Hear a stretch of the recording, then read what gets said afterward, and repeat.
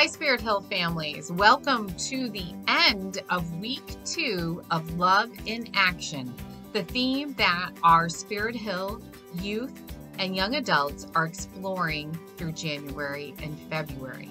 Now, I want to say a big thank you to all of the families that came out this past Sunday in that super cold weather to pick up their love in action bags or boxes. We, um, by we, I mean myself, Toby, and Pastor Jordan had special activities for all of our children uh, that came that Sunday. And I want to just take a quick moment for to go over some of those activities um, and what you need to do with them. And I'll tell you what you can do if you were not able to join us this past Sunday. There is an option to still participate in the Love in Action activities that went out to our Spirit Hill families. Now, because we had to move our kickoff from uh, January 17th to this past Sunday, we are two weeks in. So if you received your bags, you will want to find two cards. You will want to find week one card, which introduces us to our love in action theme. And then you will want to find the week two card, which we are exploring the concept or theme of treat people how you want to be treated. So that is one of the things that our Spirit Hill children are doing each week is we're exploring the love in action theme big, but then each week we're focusing on a very specific concept that helps us understand love.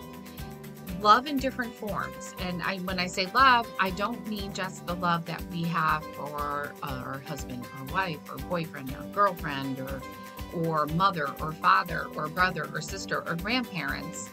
This is a concept of love that is much, that is very big and very broad. So it can mean all those things, but it also can mean the love that we have for our friends and the love that we have for others, even strangers, by the activities, our choices, our actions that we take. So, Week one, we were exploring our big concepts through these two scriptures. And now faith, hope, and love abide. These three things, and the greatest of these is love. And this is from 1 Corinthians. The other scripture that is guiding us is Children, let us love not in word or speech, but in truth and action and this is from 1 John. Those two scriptures will be guiding us through these next few weeks into February and the start of Lent. And I want you to think about that, that while we can say words and mean them, sometimes our actions are far stronger than our words. Now, for your week one activities, there's a couple things that you will need to find in your bag. You will need to find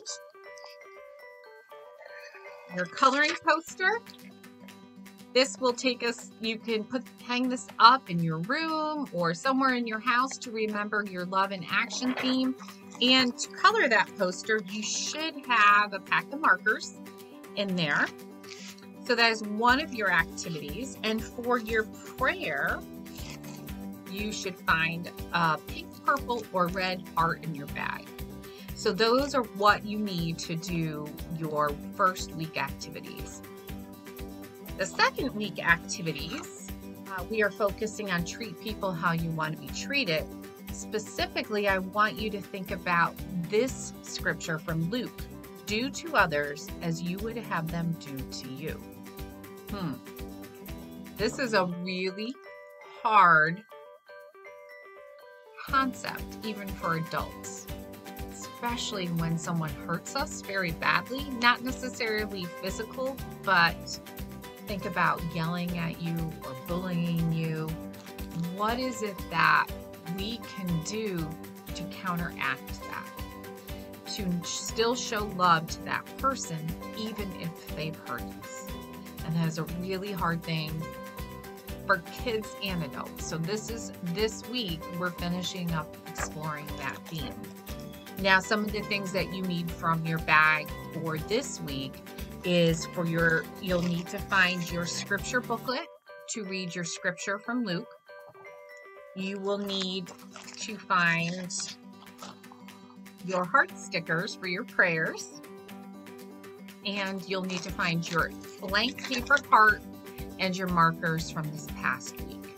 So those are all of the activities for this week, first two weeks that you can work through for Sunday. Now, Sunday starts week three, and we will be exploring the theme of stand against injustice and do what is right. Now, this is another super big concept that's hard for adults and kids.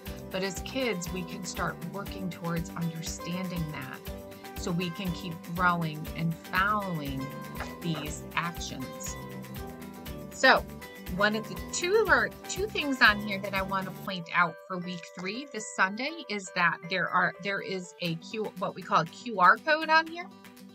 This QR code, if you have a tablet or phone or you're borrowing your parents' phone, even your computer, can be read and it'll take you to a really fun video um, to watch.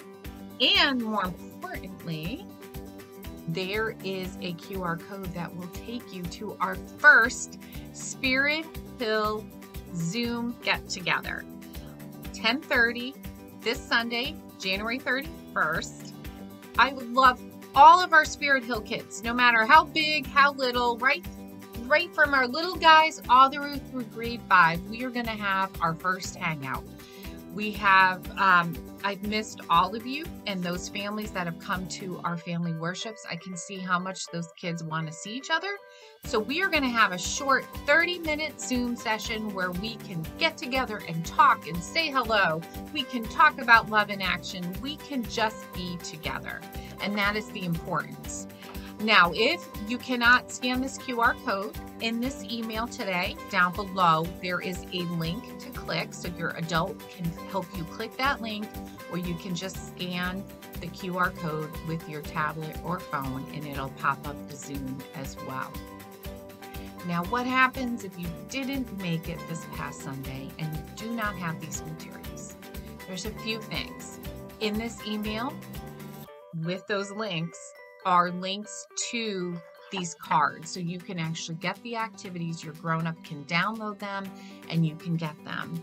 And you can work through them. You don't always need all the activities. You may have some of these things within your own home. If you really really do not have the materials and you would like help with it i can arrange you can your grown up can arrange to email or call me and i will help you to get these materials to get so you can participate in the love in action activities.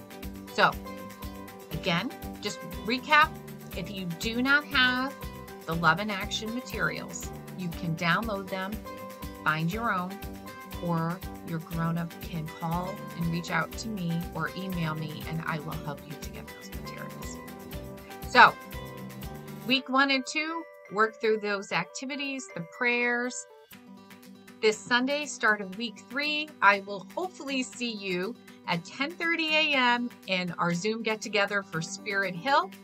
And if I don't, start working on week three.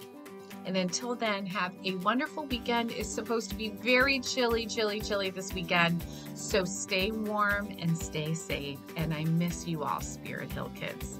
We'll see you soon. Bye.